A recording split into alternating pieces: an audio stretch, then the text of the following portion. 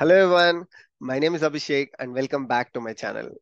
Today is day 30 of free AWS DevOps Zero to Hero series.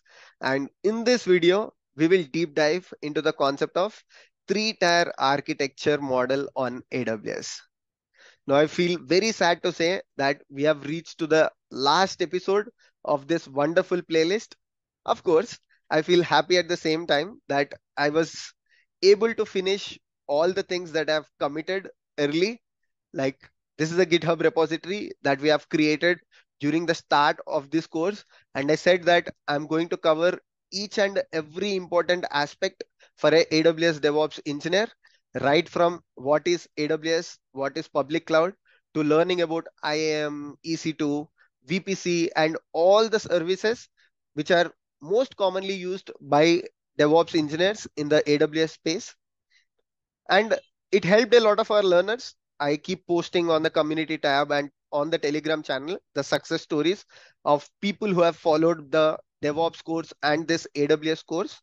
So mixed feelings. One is i feel sad that this course has come to an end. And the second thing is i feel happy that i was able to deliver all the things that i have committed.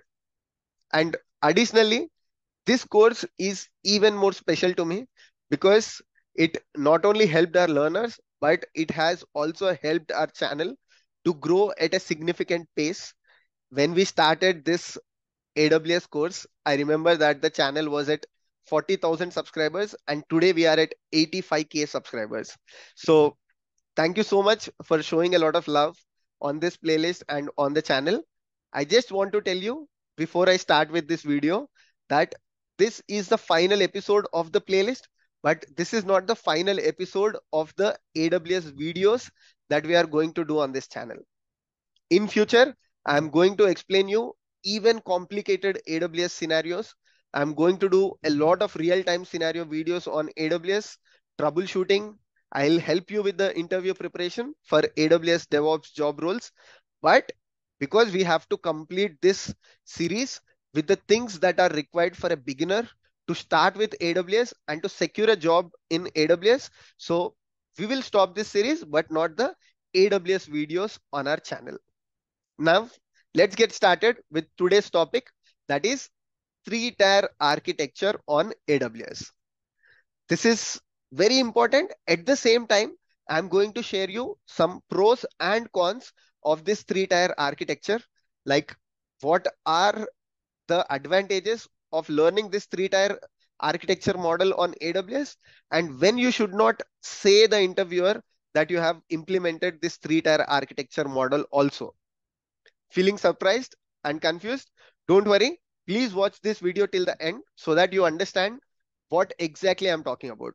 When you should explain the interviewer that you have implemented the three-tier architecture model and when it is better to not talk about this three-tier architecture model during your interviews. So please watch it till the end and share it with someone who wants to learn AWS and the three-tier architecture model. Let's start with understanding what exactly is a three-tier architecture model. In general, most of the applications that we interact with on a day-to-day -day basis are designed in the three-tier architecture model. Let's take example of amazon.com. Let's say that there is a user, okay? And this user wants to get details of a product that is available in amazon.com. Okay. Now, what does this user do? User would open his or her favorite browser and search for amazon.com. Now the browser will show a HTML page or a web page, or in general, we call it as user interface. You can also call it as front end.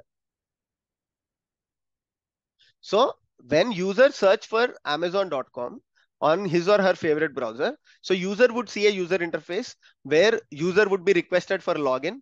Let's say user logs in and user is authenticated. Then user can search for the product and click on the product description page. Now, once the user clicks on the product description page, UI does not have the information of the product.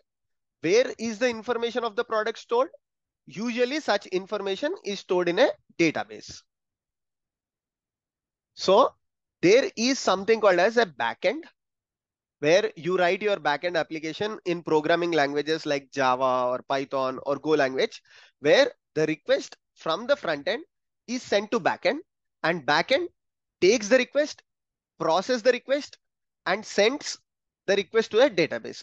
So backend authenticates or creates an authenticated request to a database and database has the information of this product, all the information that is required by the user. Now database sends the response back to the backend and backend will display this response to the user on the user interface. So there are three parts here, right? One is front end, one is backend and one is database. Tier one, tier two and tier three, for example. So any application that has a front end plus backend plus database, such applications are called as a three-tier applications or that applications are designed in the three-tier architecture model. Now for some applications, database might not be required. Let's say I'm writing a simple calculator. Okay.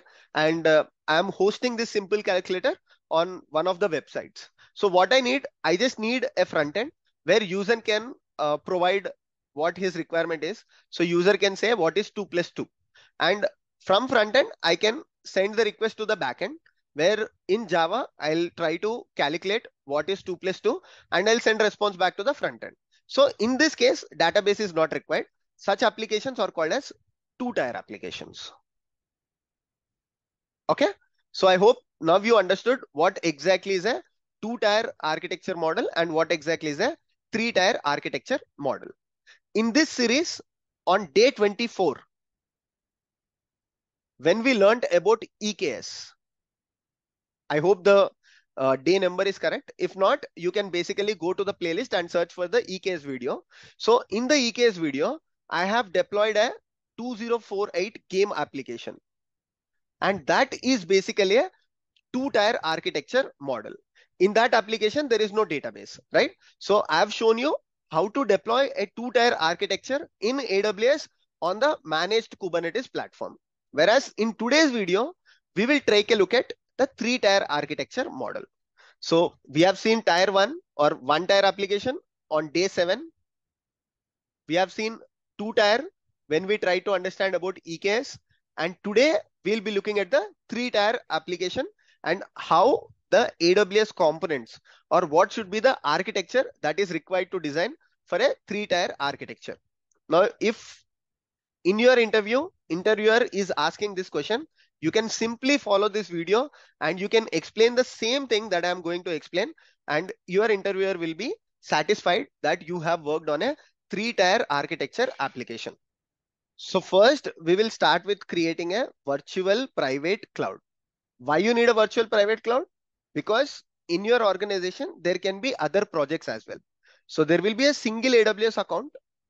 I mean, you can have multiple AWS accounts as well, but just giving an example, in one AWS account, there can be multiple projects. So to keep your project secure from the other projects, better to keep a defined virtual private cloud. So you can create this virtual private cloud with CIDR block range, let's say 170.16.0.0 slash 16 okay? And depending upon your application. So in our case our application is a three tier application. There is front end there is back end and then there is a database. So what i can do is i will split this virtual private cloud into three vpcs sorry into three subnets.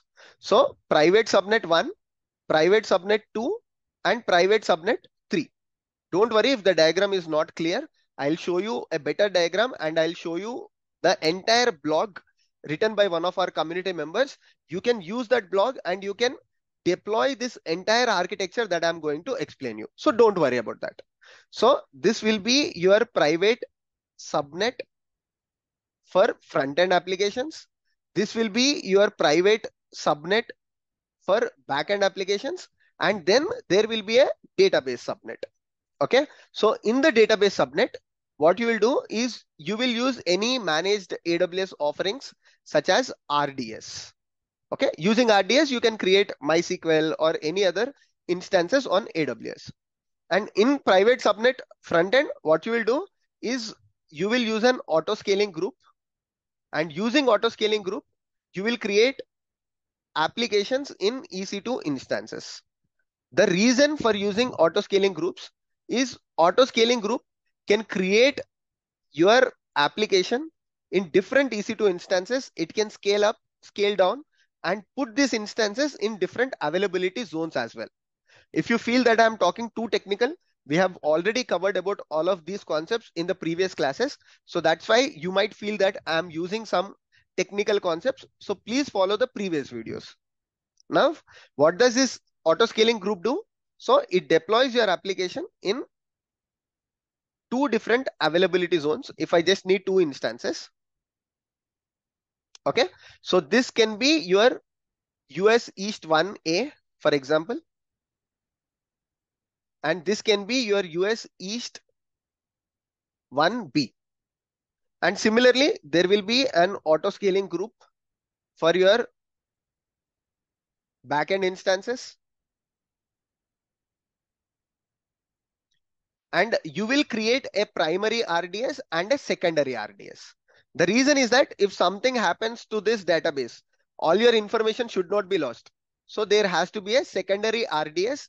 So you create one RDS instance and a secondary RDS instance for backup purposes. Now, whenever a user tries to send a request, okay, so user's request would ideally go to Route 53 as we discussed about Route 53 in the previous classes. From the Route 53, if we are using any content delivery network or if we are using any CDN, request would go to the CDN. From the CDN, there will be a ELB. In general, there will be a application load balancer or you can consider any elastic load balancer is available in a public subnet. So this will be your public subnet. And from the elastic load balancer, the request would go to one of these EC2 instances. From here, let's say request went to this EC2 instance. Then this EC2 instance would again coordinate with an application load balancer. From the application load balancer, request will go to one of the EC2 instances. From there, request would go to an primary RDS. Okay, so request will go to primary RDS and from there, response will come back to this backend, response will come back to front end and user will see whatever he has requested for. I know you might be finding this diagram that I have drawn very complicated. So for that purpose, what I've done is I'm here with a complete blog, right? I'll put the link here in the description as well. Here you go. This is the blog from Ankit. You can find this entire thing in the description section as well, where you will understand right from step one. So this is what I've explained from user request would go to the web server, then it would go to the app server and it would go to the database. So the clear diagram is also available here and step by step what AWS services are required to create this three tier architecture with screenshots and a wonderful diagram. So using this diagram, you can understand how the request flows from client to Route 53 to AWS CDN. And from there, request will go, as I explained you, to the Elastic Load Balancer. From there, it would go to EC2 instances of front end to back end to database. Now you might be wondering why there are two VPCs here, right? Basically, here in this diagram, Ankit is also showing about the disaster recovery strategy where you will create VPCs in different region. So this is region one and this is region two. And using both of these regions, what you can do, even if something goes entirely wrong in one region, you still have the other region as your backup. So you can follow this blog as is. It will take three to four hours very easily and follow each and every screenshot and you can deploy your three tier application. But before doing that, you have to watch my videos and create one tier application and two tier application. Only then the three tier application will be easy to understand for you. If not, looking at so many components, you will get scared. But it is very easy if you have deployed one tier and two tier applications. Now going back to the discussion, initially I told you when you have to mention about this three tier application project and when you should not have or when you should not mention about this three tier application model that you are seeing here. One doubt that you should get is Abhishek, these days everything is serverless or these days people are moving towards the Kubernetes architecture. But here we are talking about EC2 instances. We are talking about scaling multiple EC2 instances. So that is the problem.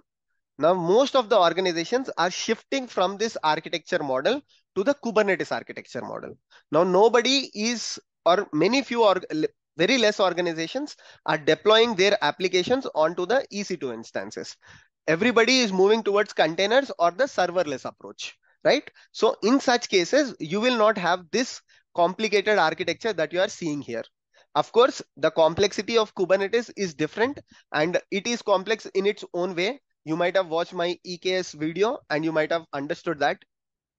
But this architecture explain only when the organization is looking for experience hosting the applications on the EC2 instance.